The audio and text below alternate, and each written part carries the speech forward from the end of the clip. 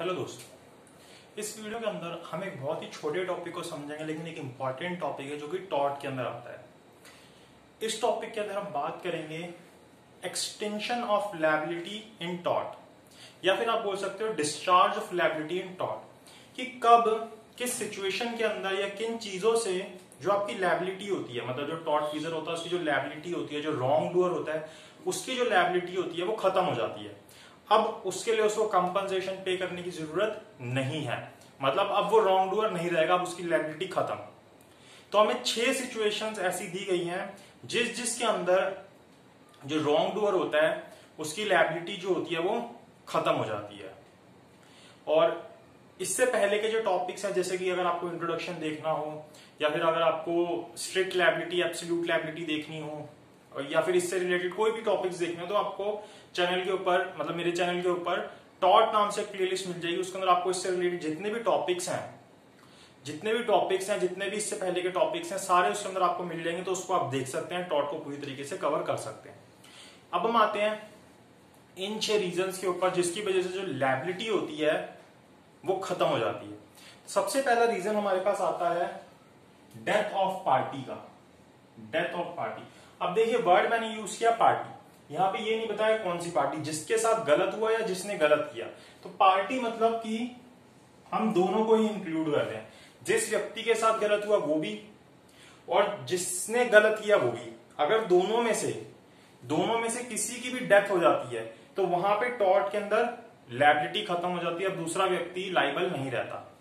मतलब जिसने रॉन्ग किया, उसकी डेथ हो गई तो अब उसको कुछ कुछ क्लेम नहीं मिलेगा, जिसके साथ गलत हुआ था।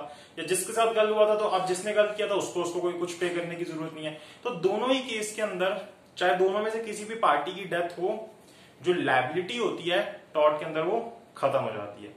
ये जो पॉइंट है, ये मैक्सिम के ऊपर डिपेंड करता है। इस मैक्सिम का नाम है एक्टिव पर्सोनलिस मॉरिचर कम पर्सोना क्या नाम है? एक्टिव पर्सोनलिस मॉरिचर कम पर्सोना इसका मतलब होता है death destroys the right of action की अगर डेथ हो जाती है तो फिर जो राइट ऑफ़ एक्शन होता है, वो खत्म हो जाता है। अब आप एक्शन नहीं ले सकते।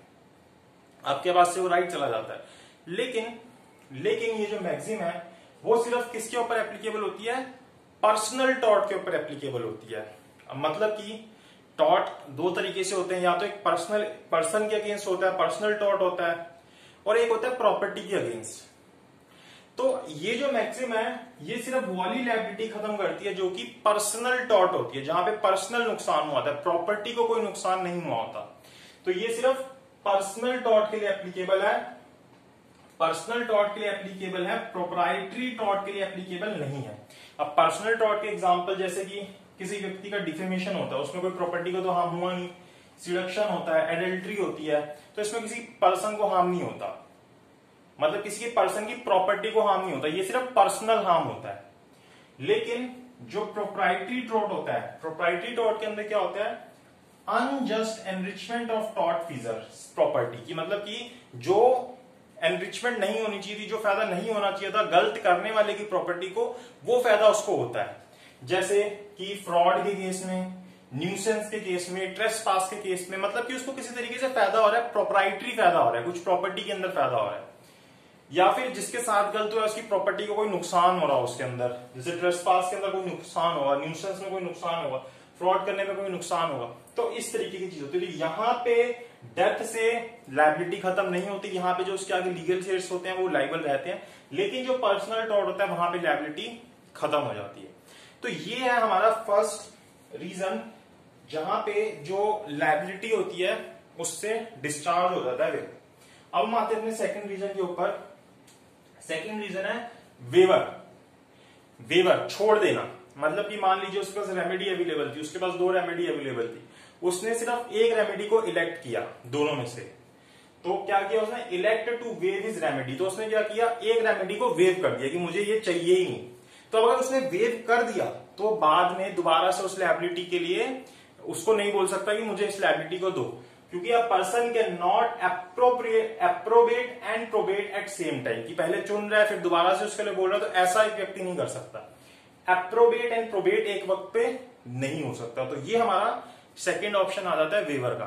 तो पहले हमारी लाइबिलिटी किससे खत्म हुई? डेथ ऑफ़ पार्टी से। लेकिन कौन सी? सिर्फ़ पर्सनल लाइबिलिटी दूसरी आती है वेवर से कि उसने खुद ही इलेक्ट कर लिया किसी दूसरी चीज़ को।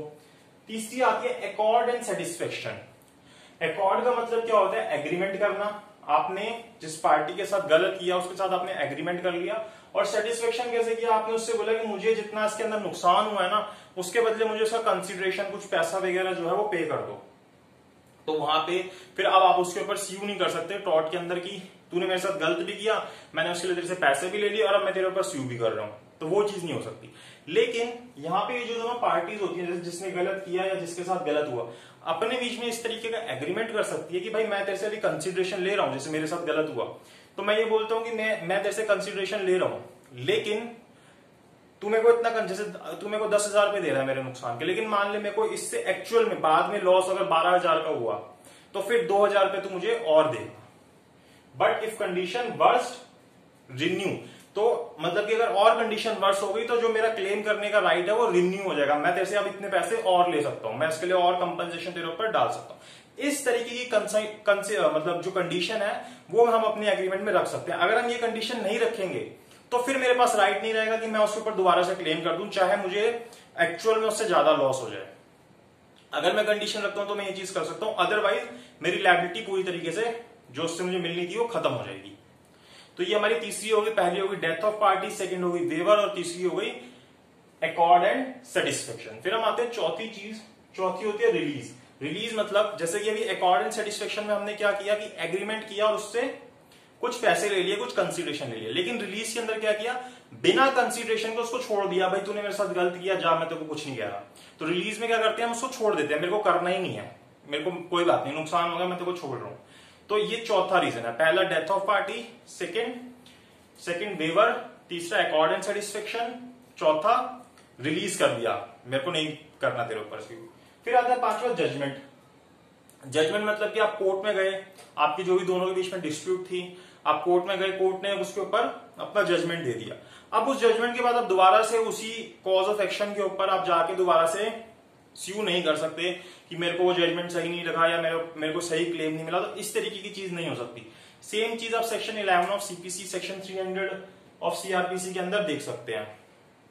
रेस जुडिकाटा और वो सब जो चीज़ें आती हैं, वहीं से निकला हुआ प्रिंसिपल है जो जजमेंट का तो हमारे पास अभी पाँच रीजन हो गए। पहले हो गया डेथ ऑफ़ पार्टीज़ लेकिन कौन से? सिर्फ़ पर्सनल टॉट के अंदर। सेकंड हो गया वेवर थर्ड हो गया अकॉर्डिंग सेटिस्फेक्शन फोर्थ हो गया रिलीज़ फिफ्थ हो गया जजमेंट और पाँच, छठा रीजन आता है स्टेच्यूज ऑफ़ लिमिटेशन कि जैसे कि लिमिटेशन एक्ट है हमारे पास, ये यहाँ पे तो एक्ट एप्लीकेबल नहीं होता, लेकिन किसी चीज़ को स्यू करने का एक टाइम पीरियड होता है, एक रीजनेबल टाइम पीरियड होता है, जिसके अंदर आपको उसके अंदर स्यू करना है। अगर आप उसके अंदर स्यू नहीं करते तो आप टाइम बार्ड हो जाओगे कि आपको जितने टाइम में स्यू करना था, आपने उतने टाइम में स्यू नहीं किया। अब ये थोड़ा ना कि आप लंबे टाइम तक कितने भी दस साल, पंद्रह साल, बीस साल, पचास साल जाके उस बाद जाके उसके लिए स्यू कर लो तो टाइम बाद अगर एक चीज़ हो जाएगी, उसके अंदर जितना टाइम लिमिट अगर वो टाइम लिमिट खत्म हो जाती है तो उसके बाद आप उसके ऊपर स्यू नहीं कर सकते। भाई, जितना टाइम था, उसके अंदर आपने स्यू नहीं किया तो वहाँ पे फिर लाइबिलिटी रिलीज़ हो जाएगी। आप उसको वहाँ पे कंपनसेशन या जो भी चीज़ें वो लाइबल नहीं रहेगा उसके लिए। तो टोटल हमारे पास ये छह रीजन आ जाते हैं। इसके अलावा एक रीजन ये भी कह सकते हैं कि भाई अगर वो बोलते हैं मेरे पास कोर्ट फ़ी पे इसका पे करने के पैसे नहीं थे या मैं इस कारण से नहीं पाया उस कारण से तो वो रीजन भी नहीं चलता। वहाँ पे भी लाइबिलिटी खत्म हो जाती है। जो स्यू करने वाला अगर वो इस तरीके की बात बोलता है तो। तो हमारे पास बेसिकली छह रीजन आ गए। पहला रीजन क्या था? डेथ ऑफ़ पार्टीज़ दूसरा वेवर तीसरा अकॉर्ड सेटिस्फेक्शन चौथा रिलीज़ फिर जजमेंट और पांचवा और छठा स्टैच्यू ऑफ़ लिमिटेशन की लिमिटेशन के अंदर उसने नहीं स्यू किया। तो टोटल हमारे पास ये छह रीजन हैं। जिसके अंदर जो लैबिलिटी होती है टॉट के अंदर, वो एक्सटेंशन हो जाती है, खत्म हो जाती है डिस्चार्ज हो जाता है व्यक्ति, अब उसको वो लैबिलिटी के लिए वो लाइबल नहीं रहता। तो इस वीडियो के लिए इतना ही। अगर वीडियो ठीक लगी हो या अच्छी लगी हो तो लाइक शेयर सब्सक्राइब कीजिएगा। और कमेंट बॉक्स में अगर इनसे कोई भी पॉइंट समझ ना आया हो तो कमेंट कीजिएगा, मैं उसका आंसर ज़रूर दूँगा। तो इस वीडियो के लिए इतना ही।